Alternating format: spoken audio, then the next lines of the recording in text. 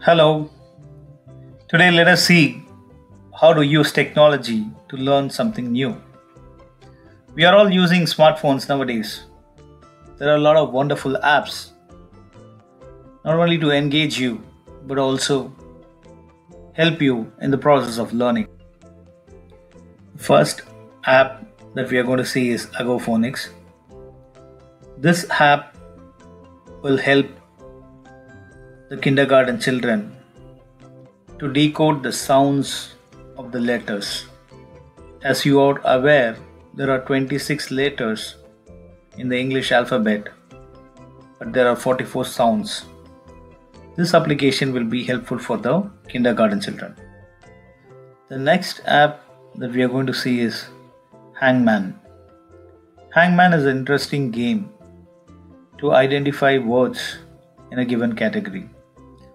This application improves vocabulary and also spelling. Word search is another app to identify a set of words.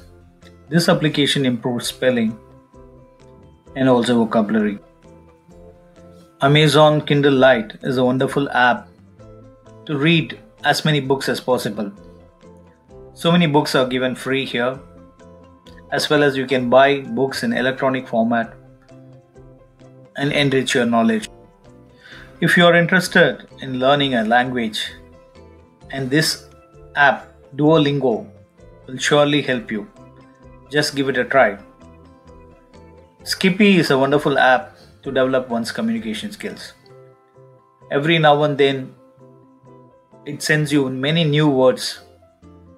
Like referring a dictionary, you can add as many words as possible. You can know the pronunciation and improve your communication skill.